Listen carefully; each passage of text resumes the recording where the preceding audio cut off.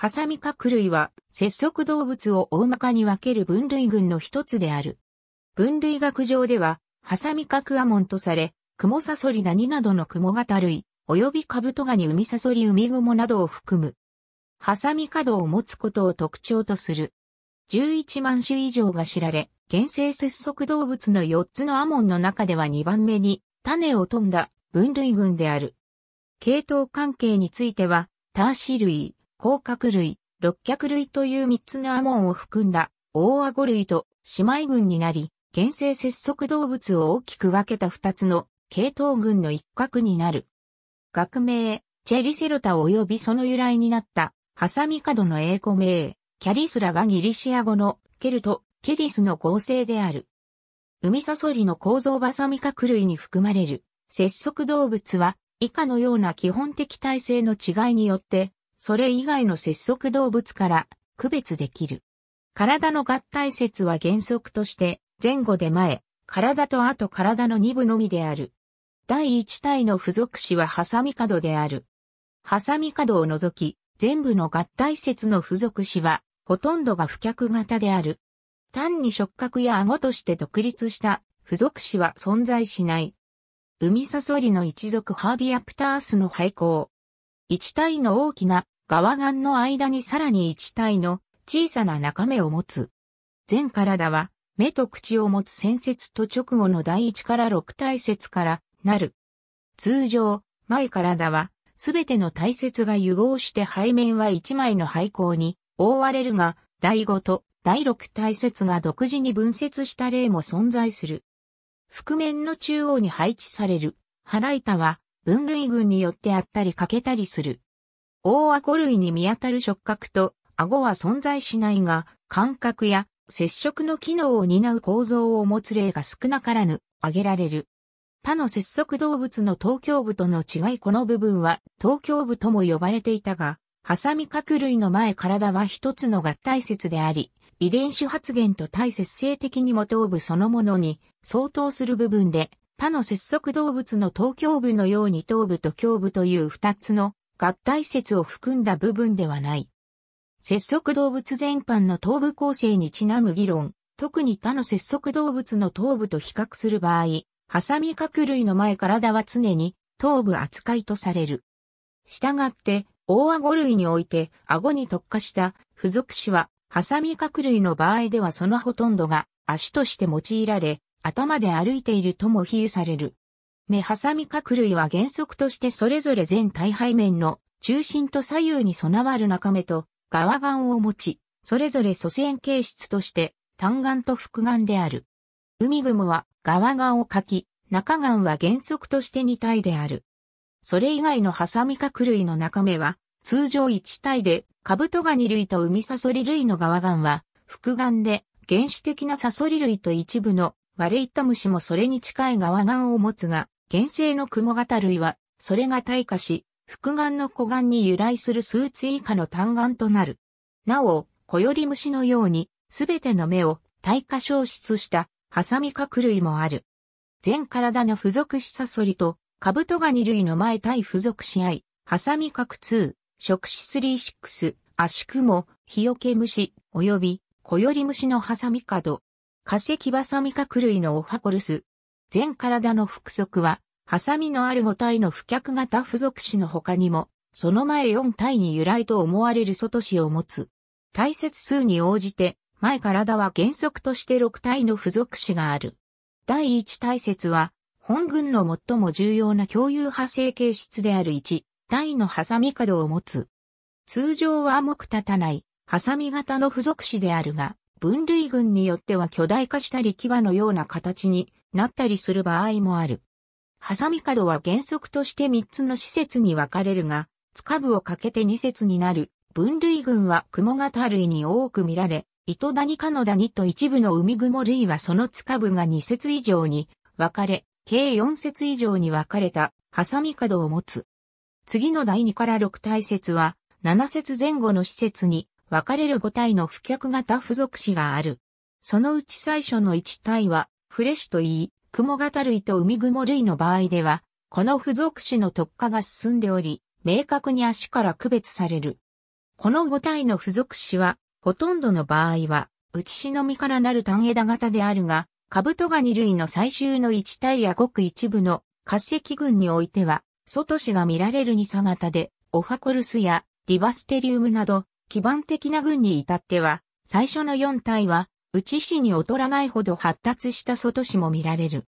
これらの化石種の特徴に基づいて、ハサミ角類のこの5体の付属詞はかつて外死があり、原生群に至る系統で、それがほぼ完全に退化消失していたと考えられる。通常、ハサミ角類の前体付属詞は、すべてが機能的な付属詞であるが、そのいずれかを二次的に退化消失させたものもごく稀にある。ハサミ角は、雲の場合では、上顎とも呼ばれ、フレシや足の基部に備える突起物は、分類群によって、顎元、顎葉、科学などと呼ばれるが、いずれも大顎類の節足動物の顎とは、起源が別で、機能が掃除するに過ぎない。口口はハサミ角とフレシの間に開き、目立てない上唇に覆われるが、海雲類の場合では、上唇の代わりに発達した円筒状の糞を持ち、口はその先端に開く。腹節カブトガニ類の後体は、様々な特化様式が見られる。後体は、腹部とも呼ばれる。通常では、体の第7体節をはじめとして、最多は13節からなる。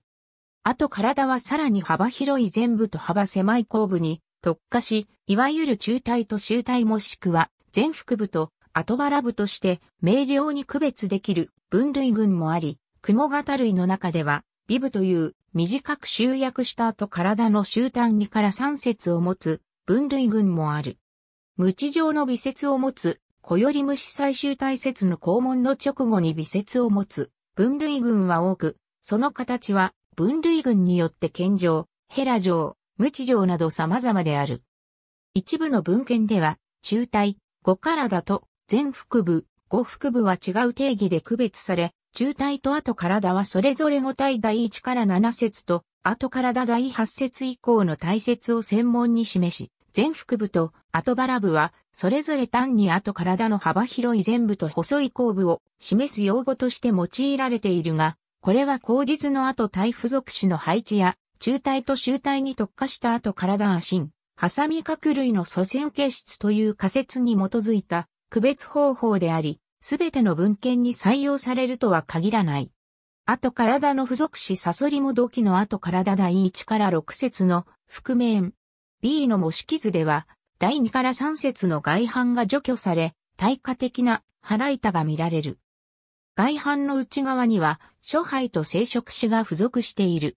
通常、後体の付属子は、ほとんどが対価的であり、あっても後体第1から7節の範囲内のみに、備わり、前体の付属子らしき抜形態を持つ。節口類と雲肺類の生殖器や呼吸器を覆面から支えた板のような構造体は外反とも、という付属詞であり、雲の糸イボ、サソリの串状板、海サソリ、腕虫とサソリモドキの生殖死などの器官も付属死由来の器官であると考えられる。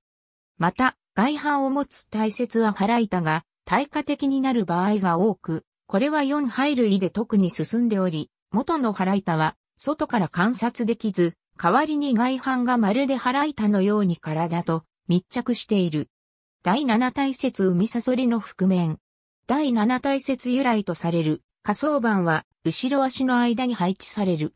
あと体の中で、前、体との境目にあたる最初の一節、いわゆる第七体節はその性質によってあと、体的本質が疑問視される場合がある。雲型類の場合、この体節は付属詞を書き、一部の群では、くびれて腹柄となるが、その腹板がしっかりと前体の領域に入り込んでいる例も見られる。カブトガニ類の場合、この体節は前体に融合し、一体の唇冷ましという小さな付属詞を持つ。海サソリ類もそれに似通い、融合した第七体節の付属詞と思われる一枚の仮想板を持ち、前体に差し込んでいるように後ろ足の間に配置される。海雲類に至っては、この体節は前、体と同型の足を持っていて、腹節カブトガニ類のウェインベルギナも同じと考えられる。基盤的なハサミ角類とされる化石節足動物のこの体節も前体の一部として機能する傾向が見られる。これによって第七体節の多くの形質は前体的であり、むしろ前体の一部と扱うべきではないかという提唱もある。サソリの諸肺とカブトガニ類の外反バサミ角類は全般的に多様な呼吸様式が見られる。水生バサミ角類である。カブトガニ類と海サソリ類の後合体の外反は、後ろ側に、ショエラという本のページのように積み重ねたラメラで構成される呼吸器を持つ。特に、海サソリの場合はさらに進んでおり、キーマンプラットンという本群に特有の呼吸器は外反とショエラに合わせて精密なエラ質を構成し、そのショエラから空気呼吸に適した構造体も発見される。雲型類の中で、雲肺類は、ショエラ由来と思われる、諸肺を持ち、それ以外の群は、多くが気管で、小より虫、一部のダニ、及び海雲類は、皮膚呼吸のみを通じて、酸素を取り込む。小型のハサミ角類ほど、呼吸の様式は、諸肺より、気管や皮膚呼吸に偏って単純化する傾向がある。ショエラと諸肺は外反の器官であるためあと、体のみに備わるが、器官は分類群によってあと、体のみ、前、体のみ、もしくはあと、体と全体療法に備わるものがある。諸肺と器官の開口部は、鬼門と言い、一部の例外を除いてこれは常に、体の覆面で体になって開口する。ササラダニの生殖口多くの場合、ハサミ角類はペニスや産卵管と言えるほど顕著な外生器はなく、生殖器の外部は生殖口のみによって現れる。海雲の生殖口は各足の基部に開いているが、それ以外のハサミ角類では知られる限りご体、第二節の腹側のみに開き、該当体節の外反もしくは腹板に、由来の生殖口外に覆われる。生殖口にあたる部分で外生器を持つ例として、腕虫とサソリモドキは、生殖口外の裏側に一体の小さな生殖子があり、海サソリ類とチャズマタスッポディダ類は、生殖口外の中央に、ジェニタルアッペンダゲという棒状の生殖子を持つ。ザトウムシは、例外的に、雌雄それぞれ発達したペニスと産卵管を持ち、クツコムシのオスにおいても生殖口に、ペニスと呼ばれる構造体がある。生殖口でない部分にあるものの配偶行動に直結する器官は、雲のフレシにあるフレシ器とヒヨケムシのオスのハサミ角に、ある弁毛が挙げられており、ツコムシのオスの第三脚にも、キャブヤラと両眼図という同じ機能を持つと思われる器官がある。サソリモドキの神経計画構説明、他の節足動物と同様、ハサミ角類ははしご形神経系を持つ。脳に含まれる神経節と付属詞の対応関係はかつて議論があったが、2010年代以降では、先節の神経節を全大脳、第一体節、ハサミ角の神経節を中、海雲類の足の神経節ははっきりと下はしご形を残るが、カブトガニ類とクモ型類の場合、脳神経節と足の神経節は著しく融合して、脳と腹神経索の境目がほぼなくなり、すなわち前体のすべての神経節が、シンギャングリアンという一つの集中部になっている。食道はその中心を貫通しており、これに基づいて、シンギャングリアンを前後で、食道上神経界と食道下神経界として区別される場合もある。あと体の神経節の場合、カブトガニ類とサソリ類ははしご型のままであるが、他の雲型類は多くが前、体へと集約される。側眼の視神経が3つの神経網を持つ大顎類とは異なり、原生バサミカク類の側眼の視神経は1つの神経網のみを持つ。操作型電子顕微鏡で撮影されたダニの一種、 Aceria anthocoptes。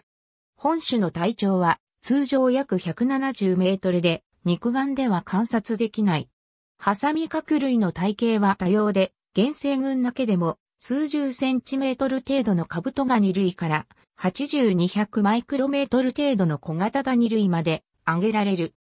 様々な分類群の中でダニは最も小型化が進んでおり、体長が1ミリメートルも満たさない種類が多い。雲は体格差が最も極端で、基地最大と最小の種類は270倍の体長差にある。化石群まで範囲を広げると、海サソリ類は1メートル前後の大型種を少なからぬ含んでおり、中で2.5メートル程度の巨体を持つと推測され、基地最大級の節足動物として知られるものもある。陸上で多様化した雲。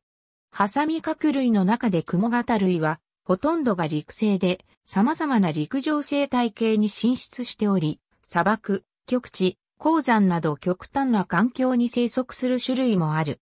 水中生態系の場合、雲型類には、水谷や水雲など陸から二次的に水生化したものが知られ、カブトガニ類と海雲類は、原生群では、すべてが海生である。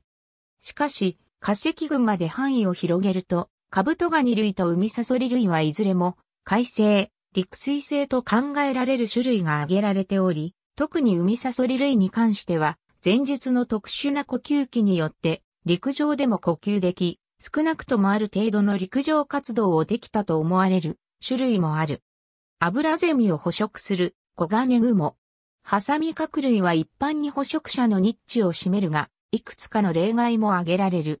雲型類は多くが昆虫などの小型節足動物を捕食する肉食動物であるが、その中でダニ類は例外的で肉食性、草食性、不食食性、寄生性、吸血性まで多岐にわたり、ザトウムシ類は雑食性や不肉食性の種類によって知られる。捕食者として代表的である雲類の中でも、吸密行動が見られ、植物成分を主食とする一種も報告される。絶滅群の海サソリ類は、多くが活発な捕食者であったと考えられ、原生のカブトガニ類は肉食性に偏る雑食性である。海雲類の食性については、研究が進んでいないが、主に四方動物など柔らかい固着生物の体内組織を取ることが知られ、これは文献によって捕食性もしくは寄生性と扱われる。カブトガニ類の前体の横断メンズ。足の元節に噛み合わせた顎元を持つ。多くの場合、ハサミ角類のハサミ角は、後期として機能する主な部分であり、餌を把握、切断、粉砕するのに用いられる。雲類の場合、牙のようなハサミ角は毒腺を持ち、毒を獲物に注入する機能を備わっている。ハサミ角以外の前体付属種の基部が接触機能を担う構造を持つ例も少なからぬあり、例えば雲類の科学、ザトウムシ類とサソリ類の顎場、カブトガニ類と海サソリ類の顎元などが挙げられる。カブトガニ類と海サソリ類のそれぞれの後ろ足の間にある唇冷ましと下層板も後期として機能する付属種とされる。海雲類は突き出した糞で直接に餌を取るが、発達したハサミ種とフレ種を持つ種類ではこれらの付属種も接触行動に参加している。多くの雲型類は固形物の餌を直接に接触せず、代わりに消化液で餌を体外消化し、軟組織を液体状に分解してから口へと飲み込むが、ザトウムシ類は例外的に固形物を直接に接触できる。原生のカブトガニ類は発達した善意で固形物の餌を細かく砕き、食べられないものをここから吹き返すこともできる。メディアを再生するハエトリグモの求愛ダンス。カブトガニはオスがメスを包摂する習性を持つ。ハサミ角類の中で様々な繁殖行動が見られ、クモ型類の中では特殊な求愛行動を持つ分類群もいくつか挙げられる。配偶種のやりとりとして、ザトウムシ類は交尾、他のクモ型類は交接、カブトガニ類とウミグモ類は体外受精を通じて行う。原則として卵生だが、サソリは卵体生である。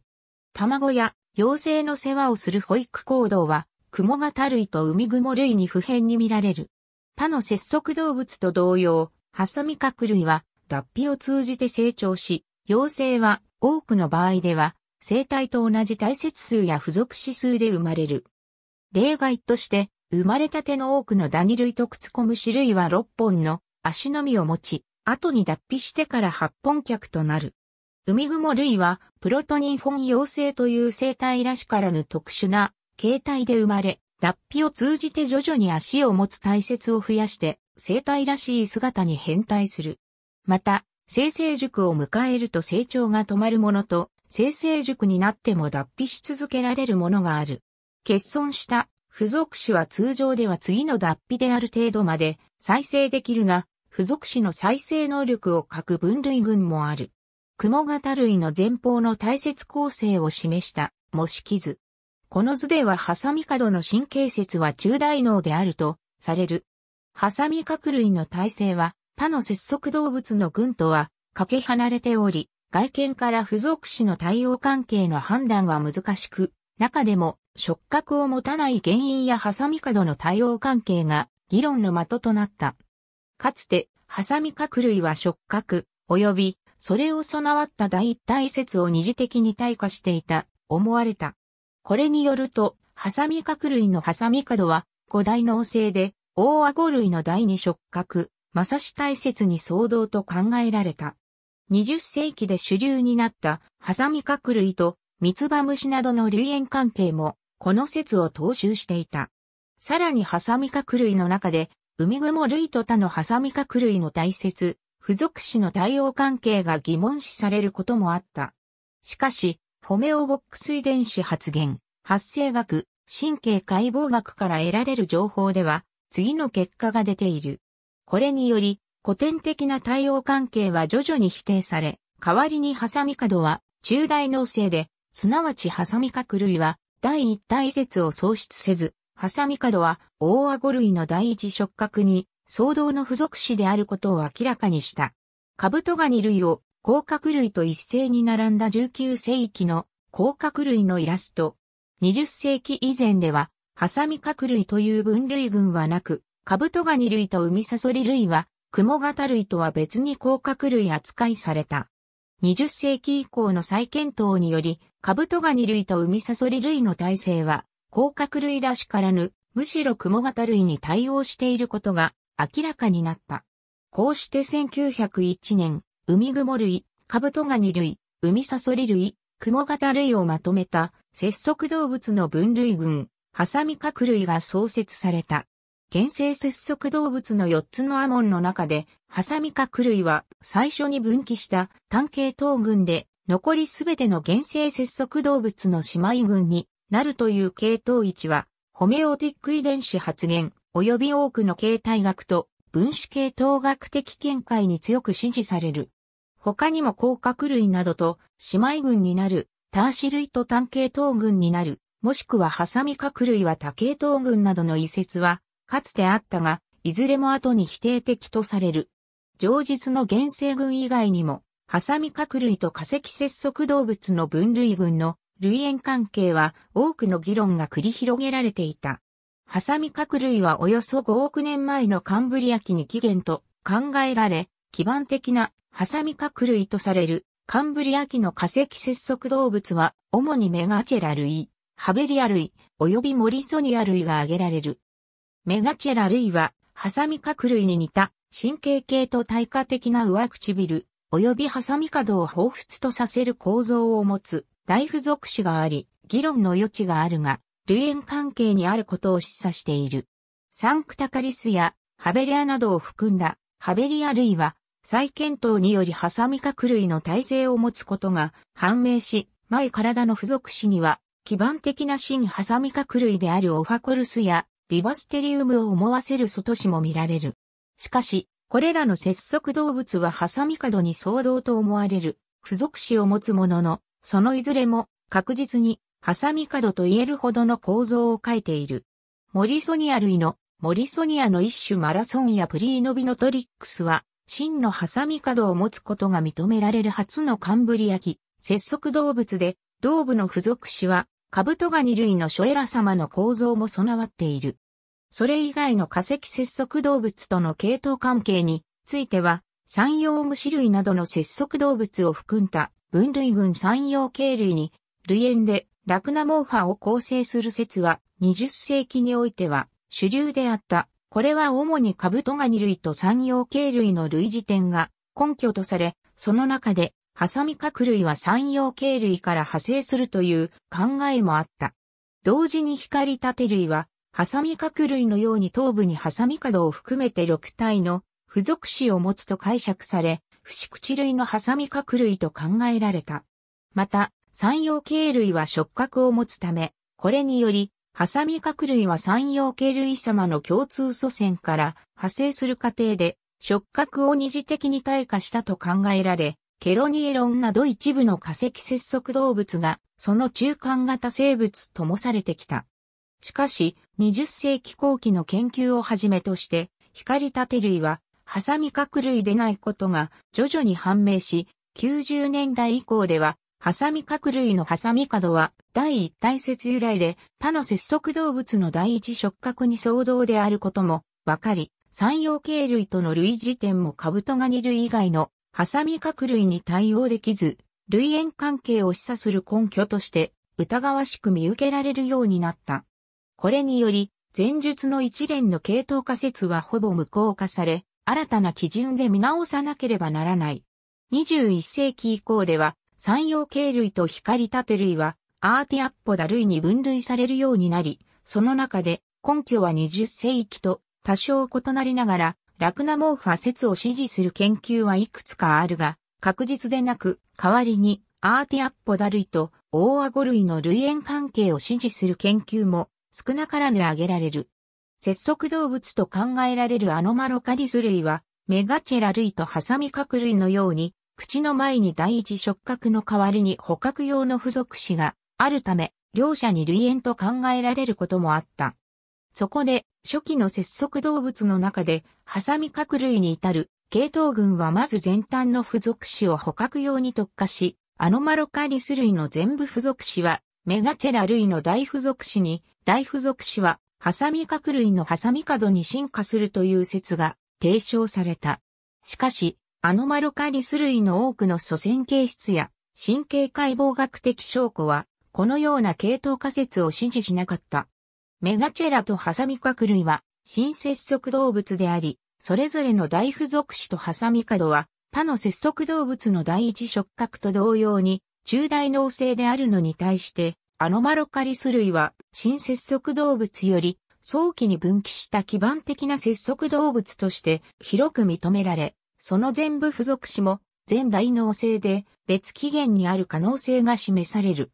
基盤的なハサミ角類とされる前述の古生物を除き、通常、ハサミ角類は大きく、海雲類と新ハサミ角類の二群に分かれ、後者はさらにカブトガニ類、海サソリ類などを含んだ、不死口類、及びクモサソリダニなどの陸生群を含んだ、クモ型類として細分される。しかしこのような分類体系の一部は単系統性を反映していないと疑問視され、以下の議論が繰り広げられる。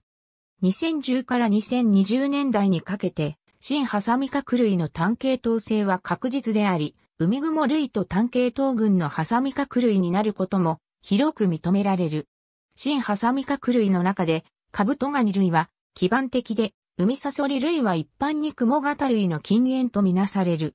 雲灰類以外の雲型類の系統関係は、未だに議論の余地がある。2010年代時点では、11万種以上のハサミ角類が記載される。100万種に及ぶ600類ほどではないが、節足動物の中で、ハサミ角類は2番目に、種数の多いアモンである。海雲類は約1300種以上、カブトガニ類は80種以上、チャズマタスポディダ類は10種以上、海サソリ類は250種以上が知られる。10万種以上を含んだ雲型類の中でダニと雲は大半を占め、それぞれ5万5千種以上と4万3千種以上が知られる。それについて多様な雲型類はザトウムシカニムシサソリ、ヒヨケムシが挙げられており、残りの雲型類は種数が少なく多くも数百種程度である。オルドビスキの海を泳ぐ、基地サイコの海サソリ類ペンテコプテルスの創造図。ハサミ角類は、大アゴ類の節足動物と同様に古生代、カンブリア紀に起源していると思われ、それを直接的に示唆する化石証拠として、カンブリア紀の化石、海雲類、及び基盤的なハサミ角類と思われるカンブリア紀の化石群、ハベリア類とモリソニア類の存在が挙げられる。不死口類の海サソリ類、チャズマタスッポディダ類、カブトガニ類はいずれも最古の化石記録はオルドビスキまで遡れる。基地最古の雲型類はシルル紀のものだが、前述の系統仮説と分子時計的証拠に合わせると、雲型類の起源はオルドビス紀にあたると考えられる。ハサミ核類は水生性を祖先形質とし、その中で雲型類が陸生化した説は広く認められるが、これは雲型類と不死口類の系統仮説の違いによって解釈が変わる。ハサミ核類は古生代の初期に出現し、常に節足動物賞の一翼を担ってきた。特に古生代前期には非常に繁栄し、海サソリ類はシルル期にほぼ食物連鎖の頂点に位置し、史上最大の節足動物の一つになっている。また、生物の陸上進出が始まった時にも早い時期に陸生種を出し、肉食者としての地位を築いた。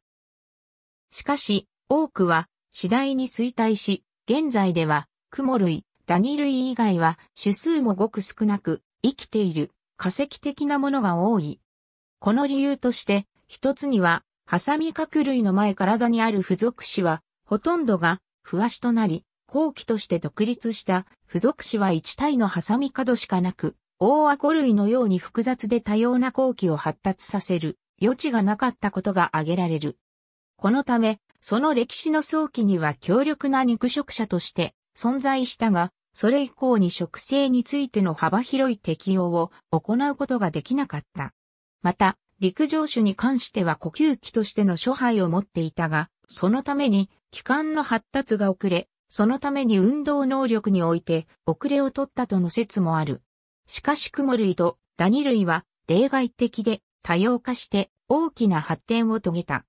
前者は糸とそれによる網の活用で広範囲な昆虫を捕食する能力を発達させたこと、後者では小さな体を利してニッチを拡大し、食性の幅を広げたことによると思われる。なお、ハサミ核類の後期は上述のように言われるほど単純で非効率的でなく、特に基盤的な新ハサミ核類である、不死口類においては7体ほど多くの付属種構造が後期に参加し、大アコ類に劣らないほど複雑な咀嚼機構を成していた。雲型類に見られる数少ない付属種からなる後期は、祖先的ならぬ、むしろ陸上生活に向かって不死口類の複雑な後期から高度に特化した結果と言うべきことも指摘される。雲型類における顎元と複眼の対価は、それぞれ陸上環境への適応と各系統群における視力以外の感覚器への依存に大きく関与していると考えられる。ありがとうございます。